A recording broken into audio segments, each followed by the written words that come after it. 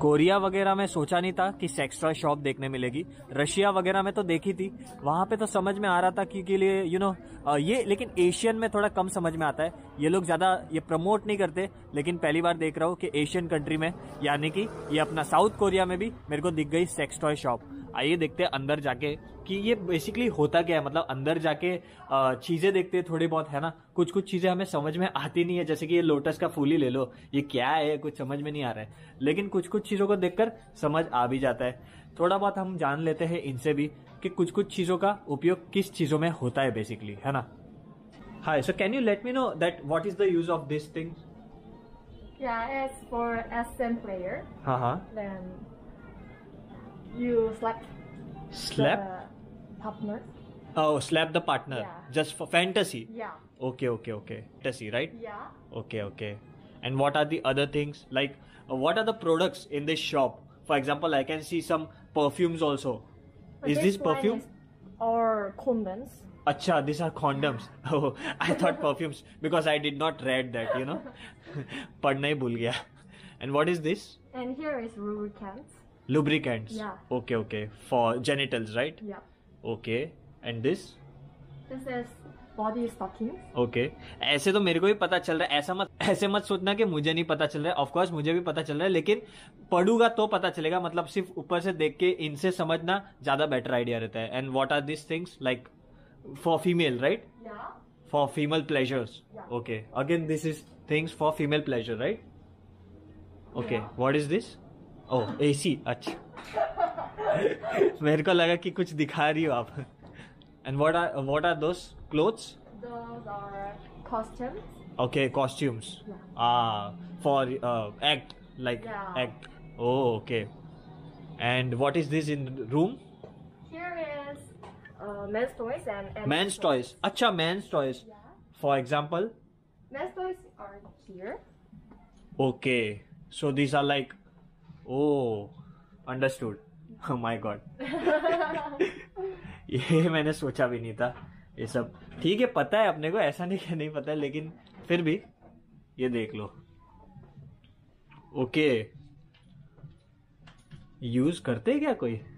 अजीबो गरीब चीज़ें so this are the rates right यहाँ पे रेट्स भी लिखा है आप देख सकते हो दो लाख वॉन का टू लाख वॉन यानी कि समथिंग समवेयर अराउंड दस हज़ार ग्यारह हज़ार की चीज़। है इलेवन थाउज़ेंड रुपीज़ का है ये।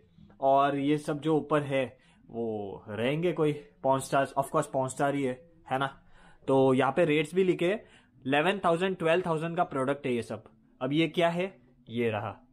आप समझ ही जाओ, है ना? ये सब मेन्स टॉयज है। माय गॉड ये सच में मैंने सोचा नहीं था। ये सब भी होता है। अच्छा इसकी अलग से चड्डी भी मिलती है। हद दे यार। ये मेंस क्यों यूज़ करते हैं? समझ में नहीं आया। Excuse me do men's use dildo. For gay gay अच्छा। अरे बाप रे खतरनाक है भाई। और ये कवर है। रेडियम का। चमकता है रात में। क्या क्या है भाई साहब। और ये क्या है? What is this This is all onals from ओनल Onal. ओनाउ Yeah, like this. From अच्छा. Japan. अच्छा फॉर जापान ये जापान के तो कार्टून को भी मतलब cartoon why cartoon are there Yeah.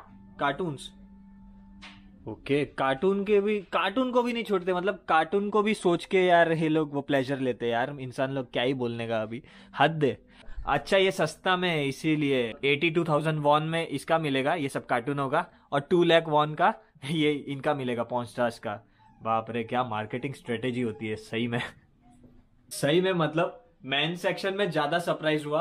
Women section का तो अपने को आइडिया रहता है। इनफैक्ट मैं रशिया में अंदर गया था शूट वगैरह नहीं किया था उस टाइम क्योंकि थोड़ा सा अजीब लगता था। अभी वो लेवल में हूँ यूट्यूब में, कि ठीक है, मैं एक्सप्लेनेशन दे सकता हूँ। आई मीन मैं कुछ मैसेज कन्वे कर सकता हूँ, ना कि मैं ऐसा कुछ फोर्स या फिर कुछ गलत मैसेज कन्वे कर रहा हूँ। तो वही मैं बता रहा था कि जो है दुनिया में, वही बता रहा हूँ।